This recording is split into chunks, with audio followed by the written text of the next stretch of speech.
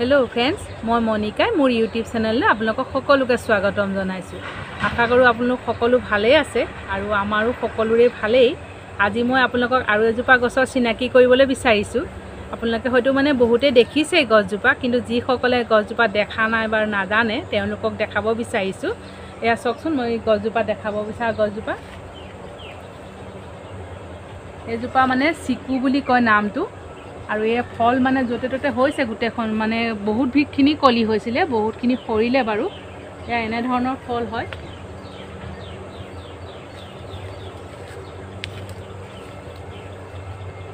এইটো দেখিছে এইটোতকৈ আৰু এগুণমান ডাঙৰ হ'ব ফলটো ইমানটোমান ফলটো হ'ব। আৰু খাবলৈ মানে বহুত সোৱাদ ফলটো মানে বহুত মিঠা। আৰু অলপ পনীয়া টাইপৰ ভাৱটো থাকে ফলটো। আৰু ফলটো যেতিয়া মানে বুঢ়া হয় গছত পকিলে মানে খাবলৈ ফাটি যোৱা নিচিনা হয়। আৰু ইয়াতে কি হয় অলপ বুঢ়া হ'লে মানে খাব যেতিয়া গম পোৱা যায় যে ফলটো বুঢ়া হৈছে তেতিয়া ছিঙি পেলাই মানে ঘৰত ৰাখি দিব লাগে নি পেলাই তেতিয়া এসপ্তাহমানৰ মূৰত ধুনীয়াকৈ পকি যায়। তেনেকৈ পকাই খালে মানে বেছি ভাল হয় নহ'লে একদম ঢিলা টাইপৰ হৈ যায়। এই গছজোপা বহু আমি আমি আগতে আচলতে এজোপা গছ আমি চিকু বুলি কয় বা এজোপা খাই ধৰণৰ এনেকুৱা নাজানিছিলোঁৱে। ইয়াত আহি এইবিলাক বস্তু জানিছোঁ বাৰু। মই ভাবিছোঁ আপোনালোকো আপোনালোককো চিনাকি কৰি দিওঁ। আপোনালোকক মই চিকু গছজোপা দেখালোঁ। আপোনালোকে যদি নাই দেখা বা আগতে চিনি নাই পোৱা হয়তো চিনি পাই গৈছে এতিয়া। আৰু কেতিয়াবা বজাৰত ওলালে আপোনালোকে কিনি পেলাই খাই চাব। ফলটো বহুত ধুনীয়া লাগে খাবলৈ। আৰু এইজোপা গছ চিনাকি কৰি দিব বিচাৰিছোঁ চাওক এয়া হ'ল চিত্ৰনীলা গছ। এইজোপাৰ মানে তিনিটামান প্ৰজাতি থাকে। এইটো প্ৰজাতি হ'ল মানে চিত্ৰনলাৰ যিটো তেল উলিয়াই চিত্ৰনলা নহয় আচলতে চিত্ৰনীলা তেল উলিয়াই এইজোপা মানে এনেকৈ যদি ছিঙি আপুনি এনেকৈ গোন্ধি পেলাই চাই নহয় ইয়াৰ একদম আমি চিত্ৰনীলা যিটো আমি যে তেল আনো বা আমি ঘৰ ঘঁহিবলৈ যে মানুহৰ মহ শেষ নাখাবলৈ যে চিত্ৰনীলা তেল গাত ঘঁহি ৰাখে যে সেইটো এইটো বস্তুৰ পৰা বনোৱা হয়। মই এই চিত্ৰনীলাৰ এনেকৈ তেল মানে উলিয়াই ঘৰত কেনেকৈ কৰে আপোনালোকক এটা ভিডিঅ'ত মই দেখাই দিম। এইটো চব এইখিনি আৰু ইয়াৰ মানে মই কৈছোঁ তিনিটা প্ৰজাতি আছে। এটা কয় মানে লিমন গাছ কয়। লিমন গাছটো হ'ল আকৌ আচলতে চাহত সেই ইয়াৰ পাতটো দি পেলাই মানে খাব পাৰি। আপোনালোকে এখন হিন্দী চিনেমা ওলাইছে গম পাইছিলে মানে চাইছে চাগে গম পাইছে বুলি কৈছোঁ বাৰু। চাইছে কিজানি তাপচি পানুৰ যে থাপ্পৰ চিনেমাখনত তাই মানে ৰাতিপুৱাই এনেকুৱাই মানে কিটচেনৰ ওচৰত এটা টাবত এনেকৈ মানে লগাই থয় তাৰপৰা এখিলা দুখিলাকৈ কাটি কাটি সদায় চাহত দি খায়।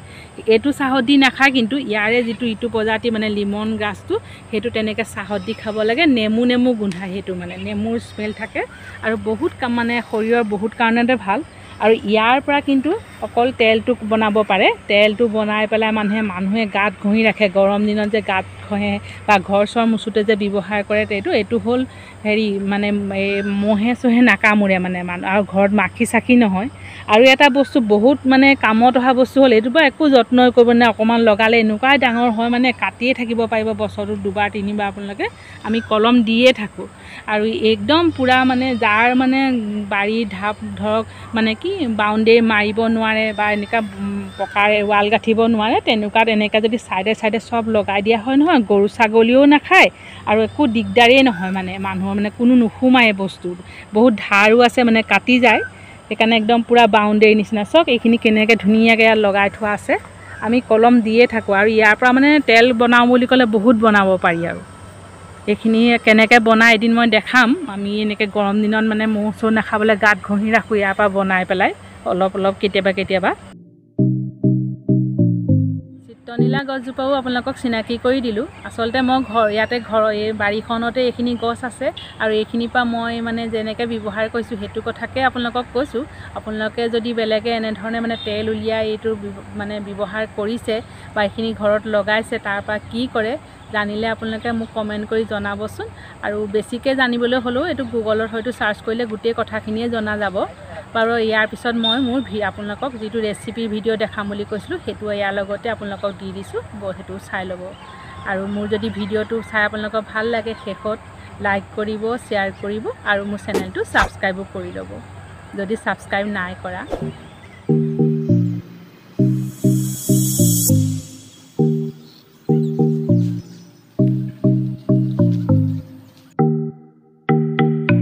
আজিৰ ৰেচিপিটোত মই আপোনালোকক ওলকবিৰ কালিয়া বনোৱাটো দেখাবলৈ লৈছোঁ। তাৰ কাৰণে এই তিনিটা সৰু সৰু ওলকবি কাটি লৈছোঁ। এনেধৰণে কাটি লৈছোঁ ইমানটো জোখত আৰু দুটা আলু কাটি লৈছোঁ।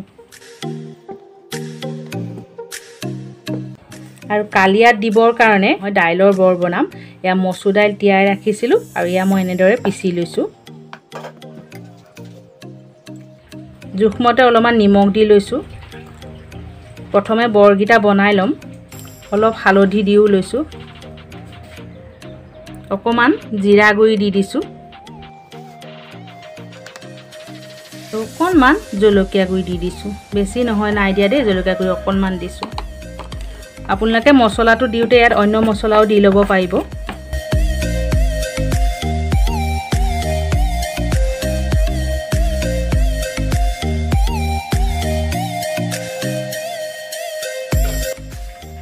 আৰু অকণমান কচুৰি মিঠিও দি দিছোঁ।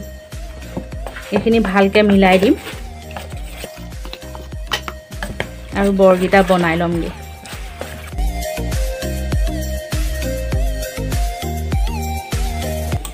এয়া গেছত কেৰাহী পাতি মই মিঠাতেল গৰম কৰি ল'লোঁ আৰু বৰখিনি ভাজি লৈছোঁ। বৰখিনি সৰু সৰুকৈ দিছোঁ। কাৰণ যেতিয়া মানে ইয়াত দি দিম মানে আঞ্জাটো দি দিম তেতিয়া হেৰি হৈ যাব ফুলি যাব। আৰু গেছৰ আনটো ফালেও মই এখন কেৰাহী পাতি দিছোঁ ইয়াতো মিঠাতেল গৰম কৰি ল'লোঁ আৰু ওলকবি আলুখিনি অলপ ৰঙচুৱাকৈ ভাজি ল'ম। প্ৰথমে আলুখিনি ভাজি লৈছোঁ। একো নিমখ তেল মানে নিমখ আৰু হালধি একো নিদিওঁ দেই অকল সুদাকৈ ভাজি ল'ম ৰঙচুৱা হোৱাকৈ। ওলকবি আলুখিনি এনেধৰণে ৰঙাকৈ ভাজি ল'লোঁ। আৰু সেইখিনি তেলতে মই পাঁচফোৰণ দি দিছোঁ। এয়া।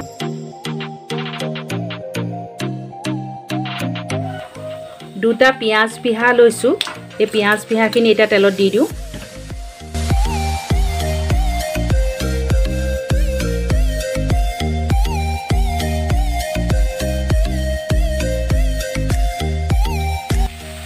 আদা পিহা লৈছোঁ। এইখন চামুচেৰে দুচামুচ হ'ব।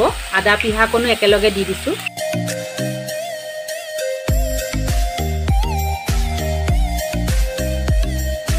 পিঁয়াজ আৰু আদাকণ অকণমান ৰঙচুৱা হোৱালৈকে ভাজি লওঁ।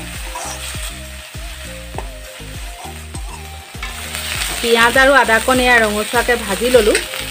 এয়া লৈছোঁ তিনি চামুচমান হ'ব ডাঙৰ চামুচেৰে এইখন চামুচেৰে তিনি চামুচ হ'ব। এয়া আফু পিহা লৈছোঁ। আফুখিনি এনেধৰণে ধুনীয়াকৈ পিহি লৈছোঁ। আৰু এইখিনি ইয়াত দি দিওঁ। এইখিনিও ৰঙচুৱা হোৱালৈকে অলপ ভাজি ল'ম। আপোনালোকে ইয়াত জলকীয়া পিহা দি দিব পাৰিব দেই মই জলকীয়া নাই দিয়া।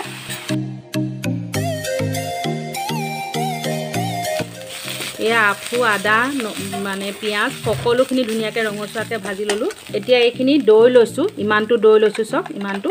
আৰু এইখিনি মই ভালকৈ ফেটি লৈছোঁ। অলপ অলপকৈ দৈখিনি ইয়াত দি পেলাই এতিয়া ভাজিম। আৰু গেছৰ জুইটো অকণমান কমাই লৈছোঁ।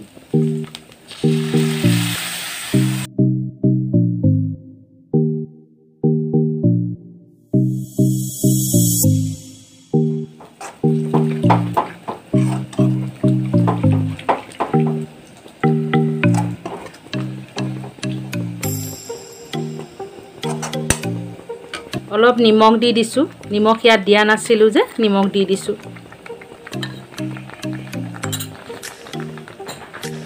আৰু অলপ হালধিও দি দিছোঁ।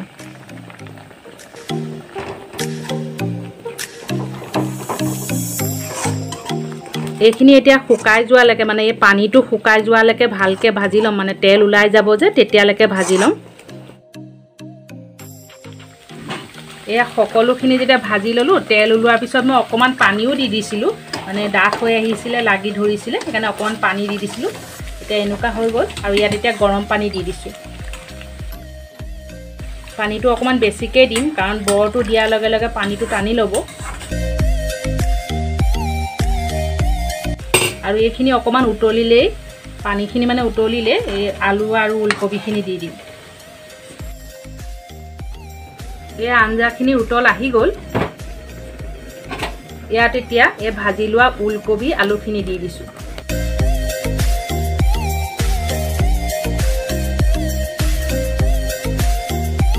বৰ এনেকৈ ভাজি লৈছোঁ ইয়াত এতিয়া দি দিম বৰখিনি।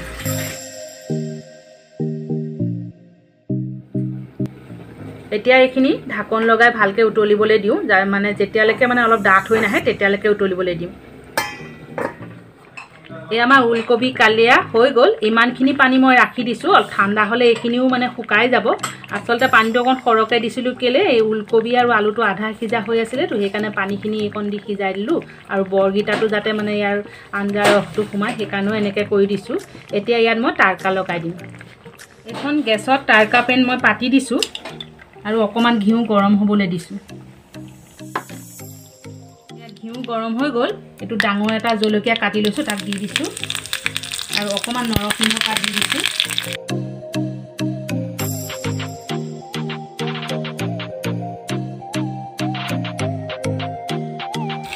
আৰু ইয়াত এতিয়া ঢালি দিওঁ